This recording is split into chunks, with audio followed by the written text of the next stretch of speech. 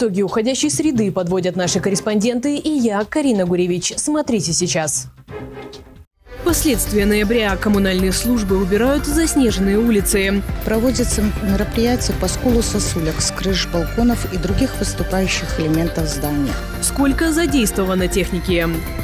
Проверка на прочность. МЧС предупреждает об опасности зимней рыбалки. Самый опасный лед – это период, когда он замерзает и тает. Когда можно хвататься за удочку. Идеальный подарок – уикенд на двоих. В Беларуси набирает популярность медицинский туризм. Многие гости к нам приезжают в протяжении там, 15-20 лет. Какие процедуры в топе?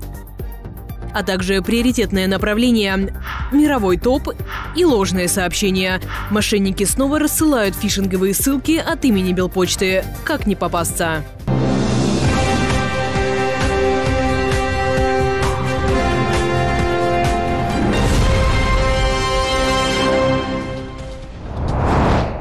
Вопросы международной и региональной повестки президент прибыл в Ереван на саммит ОДКБ.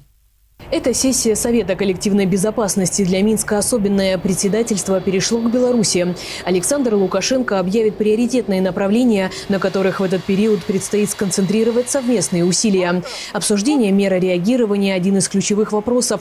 Сразу из аэропорта глава государства направился на переговоры в узком составе. Лидеры обговорят вызовы и угрозы, на которые придется отвечать вместе. Конфликт в Нагорном Карабахе, пограничное противостояние Таджикистана и Кыргызстана, ситуация ситуация на Украине. Точек напряжения все больше. В этой связи союзникам необходимо актуализировать подходы к нынешней непростой обстановке и укрепить взаимодействие.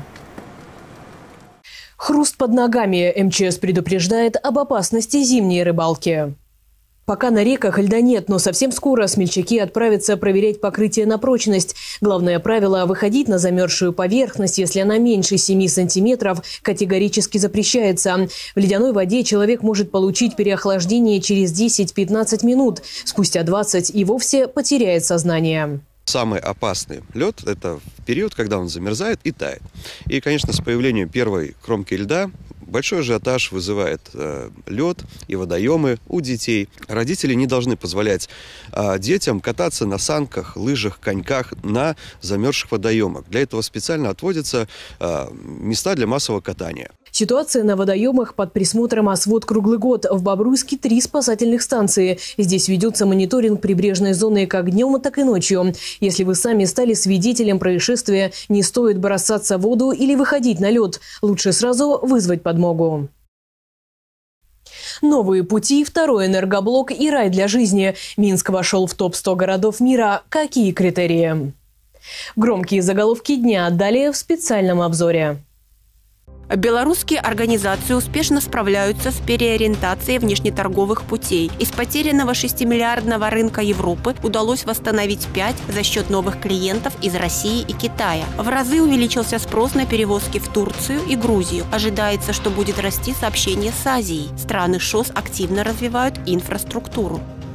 Второй энергоблок БелАЭС готов на 97%. Сейчас идут пусконаладочные работы. Ввод в эксплуатацию запланирован на 2023. На сегодня выработано уже более 9,5 миллиардов киловатт-часов электроэнергии, что позволило заместить порядка 2,5 миллиардов кубометров природного газа. Мирный атом позволяет удовлетворить возрастающий спрос у населения. Мошенники снова рассылают ложные сообщения от имени Белпочты, на этот раз на e-mail. Для этого аферисты предлагали поучаствовать в розыгрыше к юбилею организации. Зачастую главная цель злоумышленников – получение информации с платежной карты и кража денег. Правоохранители просят не переходить по ссылкам и просто проигнорировать запрос.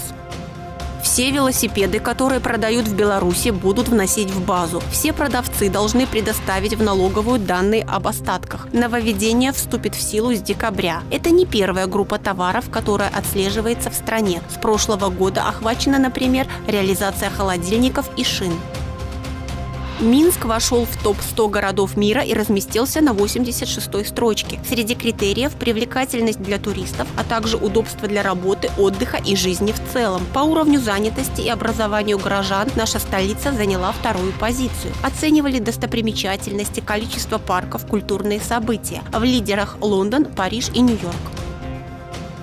Сказочный отпуск в Беларуси набирает популярность медицинский туризм. В отечественных санаториях на новогодние праздники забронировано свыше 60% мест. Половина приходится на зарубежных гостей. В основном это россияне. Есть отдыхающие из Эстонии, Латвии, Казахстана, Азербайджана, Узбекистана, Германии, Израиля и Швеции. В бобруйских здравницах свободных номеров практически нет. Мероприятия расписаны по дням, по времени – ну, это наша традиционная работа, так мы готовимся к новогодним каникулам. Мы давно существуем как санаторий уже 46 -го года, то есть нам уже 76 лет. И за это время у нас клиентская база, конечно, со всего бывшего Советского Союза, и нас знают давно, и многие гости к нам приезжают на протяжении там, 15-20 лет. Привлекают гостей качество услуг и демократичная цена. В среднем 770 рублей за 12 дней. Все зависит от набора процедур. В арсенале здравницы их более 400. Санаторий имени Ленина славится своими минеральными источниками. Едут туристы и за лечебной природой. В 2021 здесь оздоровилось 9 тысяч человек. За 9 месяцев этого года 6800. Сугробы не помеха. Коммунальные службы борются с заснеженными улицами. Трудятся и днем, и ночью. По всему городу работают больше 70 единиц техники. Заготовлено 5200 тонн песчано-соляной смеси. О режиме нон-стоп Ольга Васенда.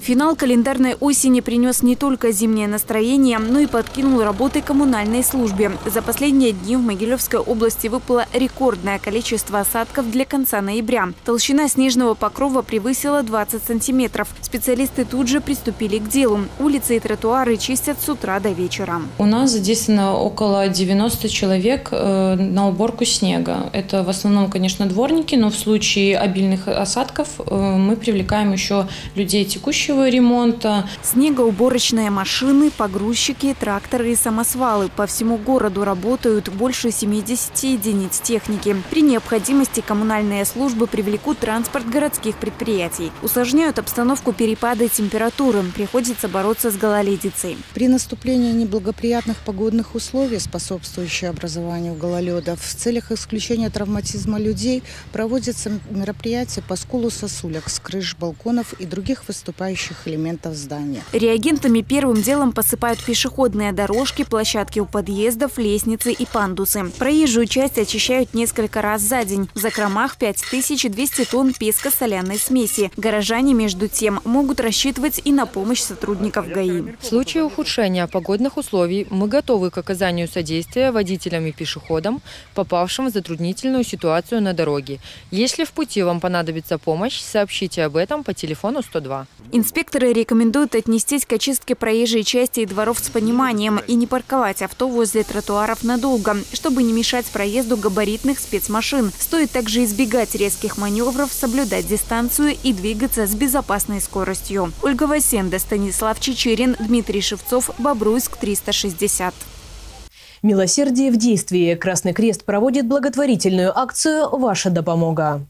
Совместно с сотрудниками ТЦСОН Первомайского района специалисты организации поддерживают людей с ограниченными возможностями, пожилых и тех, кто оказался в сложной жизненной ситуации. Волонтеры привозят продукты, одежду, средства личной гигиены и лекарства, готовы помочь и с уборкой. Я хочу выразить благодарность Красному Кресту за их помощь. Приезжаю систематически – ну, если что надо срочно, ну, помочь такое тяжелое, помогают. Организации Красного Креста помогают волонтеры, э, на которых, можно сказать, это все держится. Кто-то на автомобиле может подвести, э, кто-то вещи приносит. В наше время нужно помнить о тех, кому тяжелее, чем нам, надо помогать. Поэтому помогаем кому можем и чем можем. Присоединиться к акции может любой желающий. Подробности по телефону 74 70 91. Всего в Беларуси проживает 160 тысяч одиноких пожилых людей, которые нуждаются во внимании. Сразу после нас «Сирена», моя коллега Кристина Риан с обзором криминальных новостей недели. Не пропустите. Это все из событий к этой минуте. Смотрите нас в интернете и соцсетях. Мы в эфире каждый будний вечер. Счастливо!